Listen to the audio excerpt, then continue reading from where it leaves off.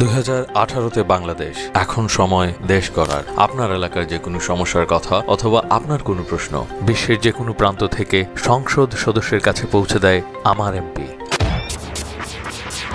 নান্দাইল পৌরসভার অভ্যন্তরে নরসুন্দা নদের উপর নির্মিত ব্রিজে এবং পৌরসভার আট নং ওয়ার্ডে সমিল মসজিদ সংলগ্ন রাস্তায় সোলার রোড স্থাপন প্রসঙ্গে করা একটি প্রশ্নের উত্তর দিয়েছেন ময়মনসিংহ নয় আসনের মাননীয় সংসদ সদস্য জনাব আনোয়ারুল আবেদিন খান। আমার এমপির মাধ্যমে প্রশ্নটি করেন মোহাম্মদ সোহাগ আকন্দ।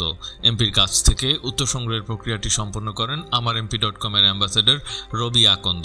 এক লিখিত বার্তায় তিনি বলেন, প্রথমেই ধন্যবাদ জানাই জনগণ এবং জনপ্রতিনিধিদের মধ্যে সেতু বন্ধনকারী প্রতিষ্ঠান আমার এমপি ডট কম কর্তৃপক্ষকে। প্রশ্নকারী জনাব সোহাগ আকন্দকেও ধন্যবাদ জানাই গুরুত্বপূর্ণ প্রশ্নটি করার জন্য।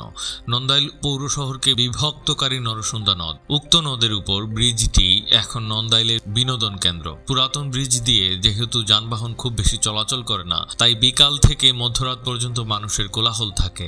জনগণের সুবিধার কথা বিবেচনা করেই জানুয়ারি দুই হাজার মধ্যে নন্দাইল পৌরসভার অভ্যন্তরে নরসুন্দা নদীর উপর নির্মিত ব্রিজে সৌরবিদ্যুতের রোড লাইট স্থাপিত হবে। সেই সাথে আরও অবগত করতে চাই, পৌরসভার আট নং ওয়ার্ডের সমিল মসজিদ সংলগ্ন জনাব আব্দুস সোবহান মাস্টার সাহেবের বাসা সংলগ্ন মসজিদে সৌরবিদ্যুতের রোড লাইট স্থাপন করা হবে এই অর্থ বছরে পাশাপাশি নন্দাইল উপজেলার বিভিন্ন গুরুত্বপূর্ণ বাজার, শিক্ষা প্রতিষ্ঠান এবং গুরুত্বপূর্ণ স্থানে আরও একশোটি সৌরবিদ্যুতের রোড লাইট স্থাপন করা হবে। জয় বাংলা, জয় বঙ্গবন্ধু।